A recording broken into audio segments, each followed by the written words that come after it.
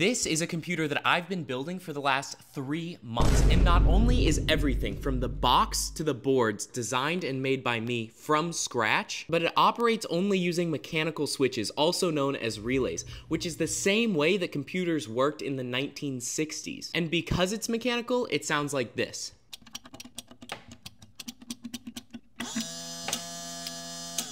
But to understand how it works, how I built it, and how we got here, we'll need to go back about three months.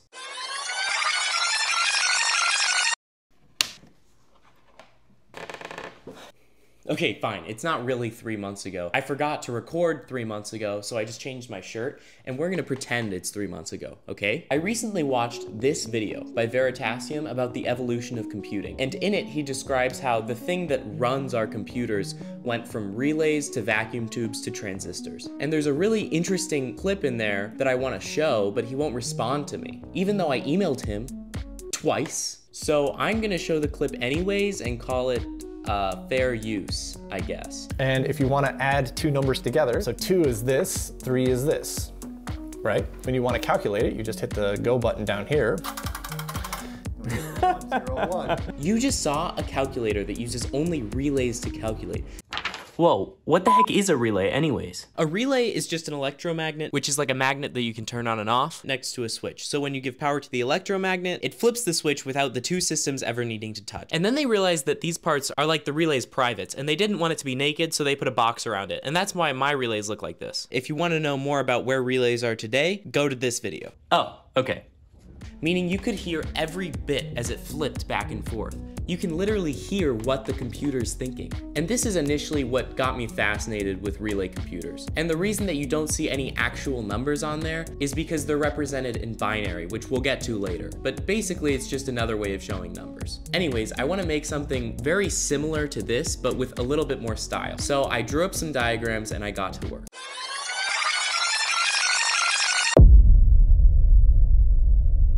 So when I'm making a project, I like to know roughly how much it's going to cost. And so I made this really cool slideshow to kind of guide us through that.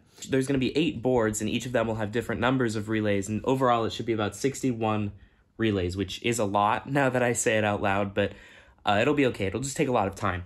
And so I found a pack of 10 on Amazon. And so when you add all those numbers together, it'll, it'll be a 70, $77. I don't have $77. I did find 50 relays on AliExpress for only $35, which is a little bit more in my price range. But the issue is it'll take like up to two weeks to get here. So, so I patiently waited two weeks for the relays to get here. The relays just came in last night. There's 50 of them. They smell really bad. Like, like whenever I touch them, like my hands reek and they just reek in general. They, they smell like the most manufactured thing. But other than that, it's time to get started to make eight boards.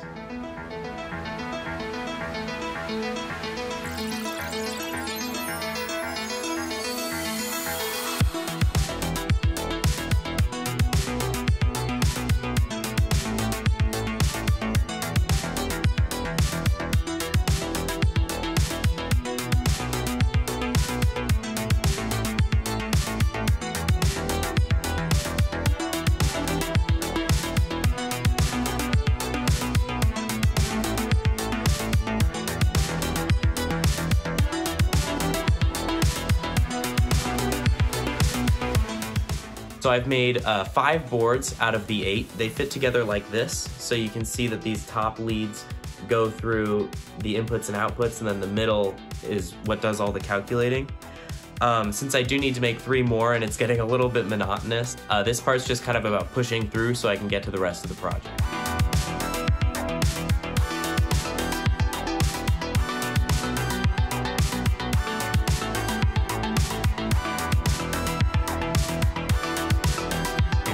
Tried this yet, but this is what will be hopefully the sequencing system for the calculators. This video makes no sense. Let's fix that.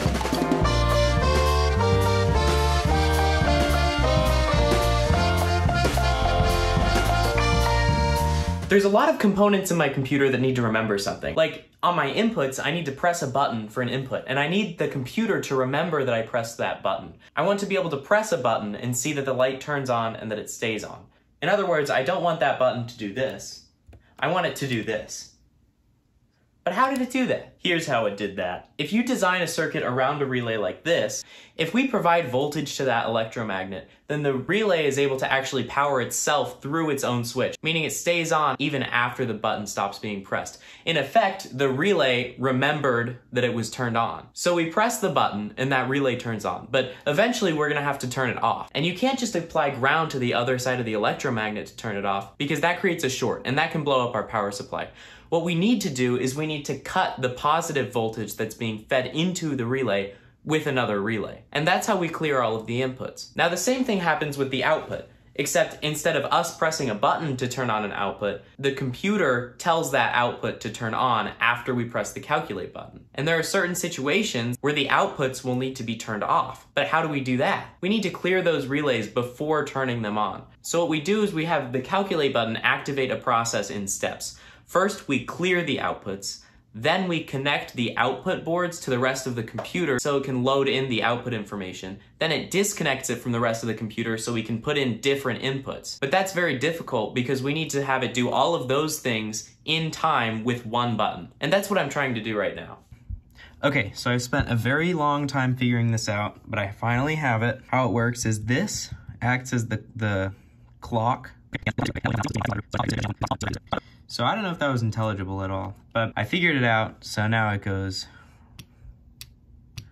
right. So this is a very important circuit that I've just designed. What it does is it takes a clock input, meaning high voltage, low voltage, high voltage, low voltage, on a steady timeline. It uses one relay to send out the command, and that first high voltage opens up the channel of one of the second relay. I am not explaining this very well, so I'm going to try again. This is a simplified schematic of what's happening. Instead of having four stages, this schematic has two. And these lights turn on when the wire that it's attached to experiences 5 volts. We turn the clock to 5 volts and the relay that it's attached to latches on just like our data storage latches on. Then when the clock is low, a second signal is sent through that relay that just latched on to latch on the third relay, which is the second stage. Now both lights are on. That's how I designed the sequencing circuit, and to make it four LEDs, I just did it twice. So that's all great, but now I need to make a clock.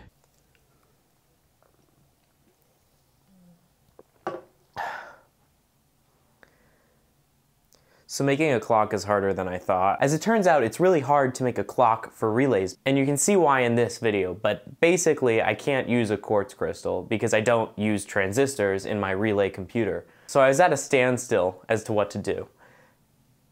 And as I've been working on this project, I've been uploading shorter videos to YouTube and TikTok. And one name kept popping up in the comments. It's a guy who built a way bigger and way better relay computer than me. His name is Paula, I, Paul Law. His name is Paul Law. Now, Paul Law, our Lord and Savior, gave us a 16 episode series on how to make a relay computer clock. Now, I'm not gonna watch a 16 episode series on how to make a relay computer clock, but I'll watch the first two episodes, and in the second episode, he gives us this list. These are all the main ways that we could make a clock for our computer. Now two of them are out because they were never in relay computers and I'm making a relay computer. So I tried to make this complicated capacitor relay circuit that he made in the video and that, that's what he went with so I went with it and I couldn't get it to work. I don't know why. I didn't really understand it. I mean, I, I probably could have made it work if I spent enough time, but I didn't really get it in the first place. So I decided, you know what's way cooler than that stupid option? A motor. That's right. I'm making a motorized computer. So that's what I did.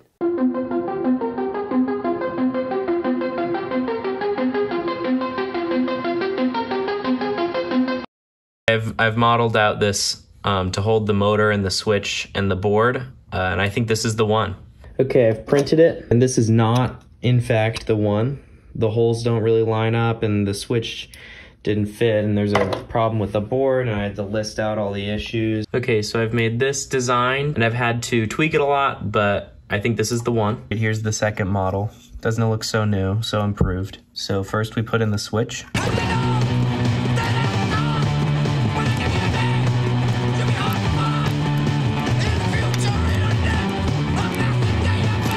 All right, so I've designed and printed this cam, this here.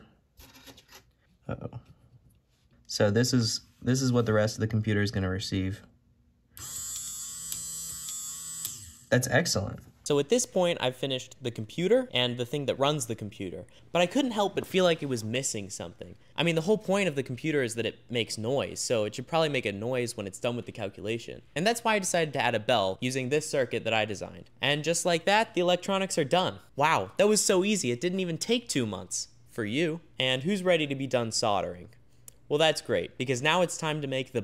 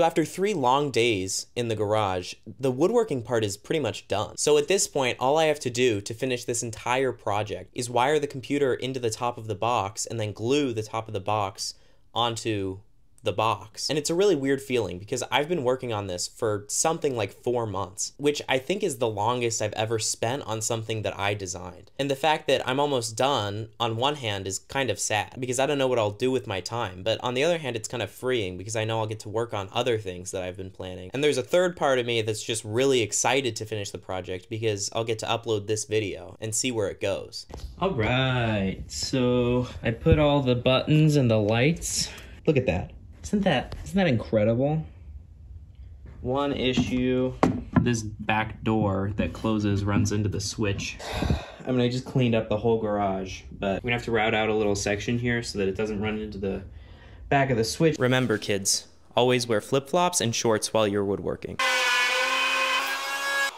So I've got the head of the thing set up like this so that when I put these in, I'll know the right length of the wire for when it eventually does go in the box. So at this point, I basically just had to wire everything from the computer into the components of the top of the box. And I'll spare you from watching all of it because it's pretty boring, but basically it was not going as well as I thought it would. It's not going as well as I thought it would. A lot of things kept breaking, and it became this repetitive process of taking everything and putting it in the box and then realizing something was broken, so I had to take it out of the box and fix it and then put everything back in the box and take it out and put it in and take it out until finally I had a functioning computer. Also, I forgot to take a video of me gluing the top onto the box, but I felt like it was important, so pretend that this is me gluing the top onto the box. And it's done. All right. If you hear rustling, that's my cat, Poe. He's uh, just being a cat. You're gonna you're gonna be there the whole time. Yeah, that's cool. Oh. So the computer is finally done. I really like how it turned out. I think it looks really good. I think the labeling turned out really well. Now, before we go any further from like a continuity standpoint, a lot of you will probably notice that I did get a new shirt. Uh, it's plain. It's a plain white t-shirt. Do you like it? I thought you would. So to use the computer, first we'll turn it on. Now, keen viewers will probably notice that there is no screen on this computer, and that's because the way we communicate with it is really the most raw form that you could talk to a computer, which is through binary. So when I'm putting in a number, I'm not gonna just say 12. I have to use binary to put in that number. And future me is gonna explain how binary works right now. Binary is just another way of showing numbers, and we do so through zeros and ones. Here, for instance, is a 4-bit binary number. Starting from the right, each of these positions represents 1, 2, 4, and 8 respectively. For every one in our binary number, we take the position that it represents and add it to the final result. And that's how we get our number. This was a super quick explanation, but it'll make sense more as we go through the video. Wow, that was a great explanation, future me. So now that we know binary, uh, let's try and add two numbers. We'll say 25 and 14. So that's 16 plus 8 plus 1, and then 8 plus 4 plus 2. And if we press enter, what we get is 32 plus 4 plus 2 plus 1, which is 39, and that is correct. Let's try and add another two numbers. Let's say 16 plus 4. So we do 16 and we do 4, and then we press enter, and the result in binary is, well, now we do mental math, 16 plus 4, that's 20. So our calculator has told us that 16 plus 4 is 20. Whoa, that's so useful. So we know how the data storage works, the input and the output. We learned that earlier, but how does it actually add? Pretend you have a little guy with three inputs, and his job is to count the number of inputs that are on and translate that into a 2-bit binary number. So if any two of these inputs experience 5 volts, the output will look like this, 1, 0. Or if only one of them is on, the output will be 0, 1. And if all three are on, the output is 1, 1. In this 2-bit binary output, the digit on the right, the digit that only represents 1, is the actual output of the adder. In other words, it's one of those green lights on the bottom of the box. The digit on the left, which represents 2, is actually an output to the next little guy. That's right, you have more than one little guy. In fact, you have 8 little guys. Each of these little guys is a full adder. Now each little guy full adder corresponds to one green light at the bottom of this box. There's also a ninth LED that we'll get to later. Now that we understand the outputs, let's talk about the inputs. And for the sake of simplicity, instead of having 8 full adders, meaning an 8-bit calculator, I'm going to represent this with just 3 full adders and a 3-bit calculator. And that means that there are 6 inputs in our calculator. Two ones, two twos, and two fours. The inputs are wired in this way, where each full adder handles two digits of the same value. So this row is our first number and this row is our second. Now let's try adding 1 plus 1. Our first adder sees two inputs active and outputs 1, 0. This first 1 goes to the second adder, which detects one active input and outputs 0, 1, which is linked to our 2 binary output. So 1 plus 1 equals 2, but now let's try something a little more complicated. Let's try 7 plus 2. So this 1 essentially just gets carried down. The full adder that it's connected to just outputs 0, 1, which carries down into the first digit of our final result. But now it gets a little bit more complicated. These 2's go into the same full adder, which outputs 1, 0. That then carries into our third full adder, which has two active inputs because of the 4 at the top. That means that this full adder outputs 1, 0 as well. Remember how earlier I was talking about that ninth bit? This is the equivalent. Instead of this left digit outputting to another full adder, it just outputs to its own LED. It's called the carry out. And if you're curious, this is the relay diagram for the full adder in case you want to make your own. Wow, yet another great explanation. You'll also notice that we can do subtract mode. Now to do subtract mode, all the computer is doing is it's taking these inputs and it inverts them. So every zero is a one and every one is a zero. And then it adds one to this input. Now, to be honest, I really don't know why that works, but it does. So if we do, say, 7 minus 4, we'll get 3. Or if we do 25 minus 14, and we get 11. That's pretty cool. Also, there's a bell function, and it sounds okay, but all of the lights flash whenever the bell rings. I don't think that's good for the computer. I think I did something wrong in the wiring, so we're just gonna leave the bell off. So yeah, this has been the demonstration of the computer. Now, if you're wondering why I used perf boards instead of PCBs, which I could have just ordered online and then had shipped to my house, and it would have been faster and more reliable and more repairable and probably cheaper too. Um, no, yeah, that's a good that's a good question. That's a good question. In all honesty, it's because I really wanted to feel like I made my own computer. You know, I, I designed the boards and then I made them from scratch, not ordering anything custom. And that's how my computer works. You know, it takes the inputs, it runs them through the adders, and then when you press enter, it kind of refreshes that bottom layer of outputs using the motor board that I designed.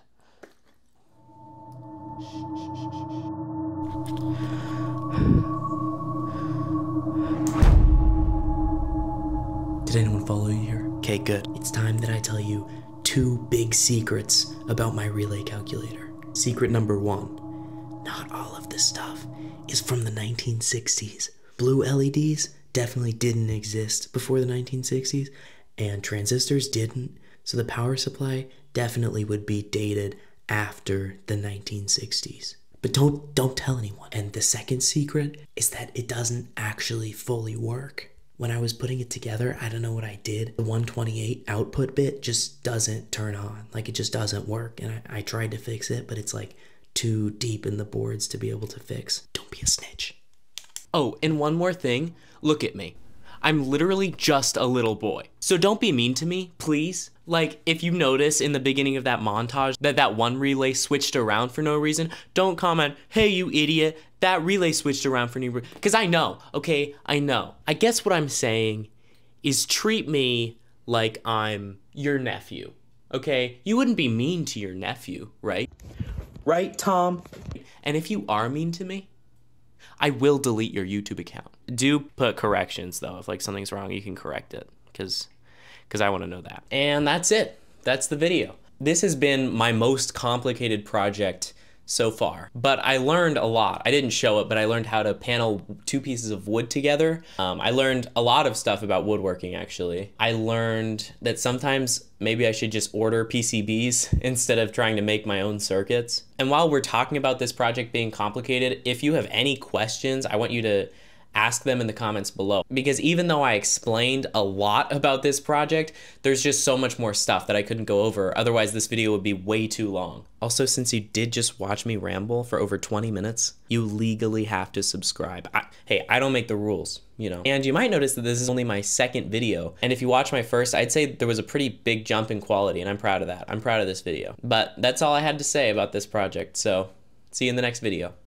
Okay, I almost forgot. I generally like to make like my logo and like customize that logo to that project. So I'm taking the IBM logo and I made um, this stencil that I can spray paint onto and it kind of looks like the IBM logo.